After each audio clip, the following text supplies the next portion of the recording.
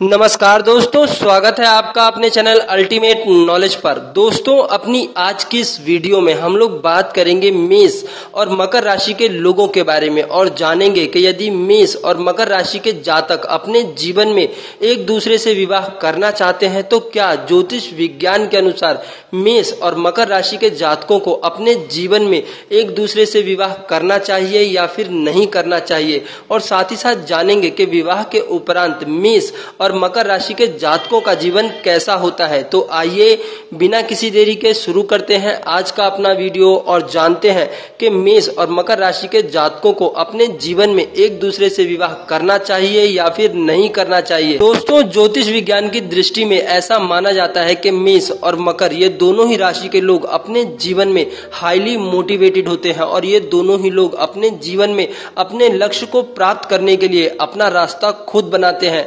जहाँ पर पर एक और मेष राशि के पुरुष अपने जीवन में जीवन का आनंद उठाने के लिए अपने पैसों को बेइंतहा खर्च करना पसंद करते हैं तो वहीं पर मकर राशि के जातक अपने जीवन में भविष्य की चिंताओं और उसकी जरूरतों को देखते हुए अपने पैसों को खर्च करते हैं। मेष राशि के पुरुष अपने जीवन में किसी भी कार्यों में योजनाओं को उतना महत्व नहीं देते तो वहीं पर मकर राशि के जातक अपने जीवन में किसी भी कार्यों को करने से पहले उसके बारे में अच्छे से सोचते हैं और उसके ऊपर पर एक अच्छी सी प्लानिंग बनाते हैं। उसके बाद ही अपने जीवन में आगे बढ़ना पसंद करते हैं। ज्योतिष विज्ञान के अनुसार ऐसा माना जाता है कि मेष और मकर ये दोनों ही राशि के लोग अपने जीवन में एक लक्ष्य की ओर बढ़ते हैं, लेकिन इन दोनों का व्यवहार अलग होता है, जिस कारण से इनके बीच में अंडरस्टैंडिंग का बैठना थोड़ा सा मुश्किल होता है। लेकिन यदि ये दोनों अपने जीवन में अपने तालमेल को अच्छा और बेहतर कर ले तो वास्तव में इनका जीवन अपने आप में एक अच्छा और बेहतर जीवन बन सकता है। दोस्तों, यदि बात करें मेष, पुरुष और मकर राशि की महिलाओं के बीच वैवाहिक संबंध के बारे में तो ज्योतिष विज्ञान के अनुसार ऐसा माना जाता है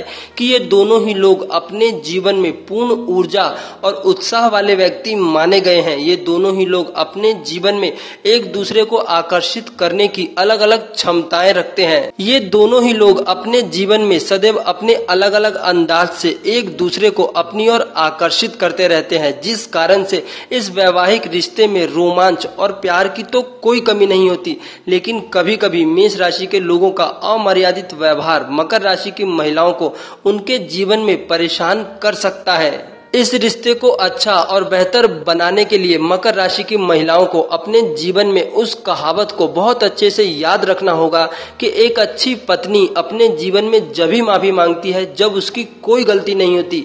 यदि मकर राशि की महिलाएँ अपने जीवन में अपने व्यवहार को थोड़ा सा नम्र रखते हुए बिना बात के भी कभी कभी मेष राशि के पुरुषों से माफ़ी मांग लेती हैं तो ये इनके जीवन के लिए बहुत अच्छा होगा और इससे इनके बीच का प्यार और गहरा होगा। होगा और इनके रिश्ते अपने आप में बहुत मज़बूत होने लगेंगे। दोस्तों, यदि बात करें मेष महिला और मकर राशि के पुरुषों के बीच वैवाहिक संबंध के बारे में तो ज्योतिष विज्ञान के अनुसार ऐसा माना जाता है कि ये दोनों ही लोग अपने जीवन में भिन्न या यूँ कहें कि बिल्कुल विपरीत होते हैं। इसलिए इन दोनों ही लोगों के बीच इनके जीवन में एक अच्छा और बेहतर रिश्ता बन भी सकता है और नहीं भी बन सकता।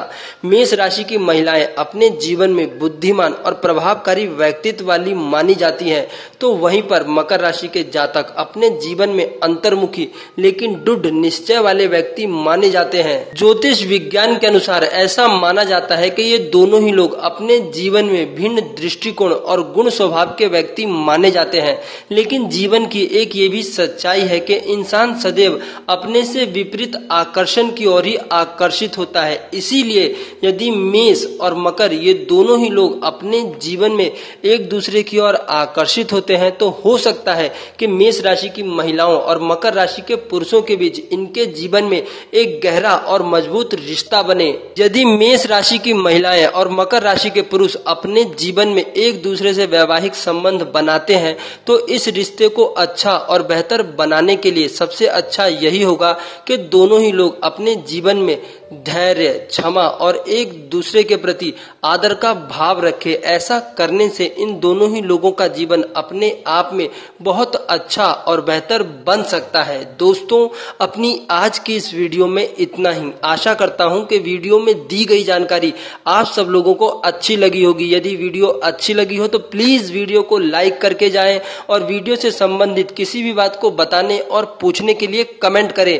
वीडियो देखने के लिए आप सब लोगों का बहुत बहुत धन्यवाद।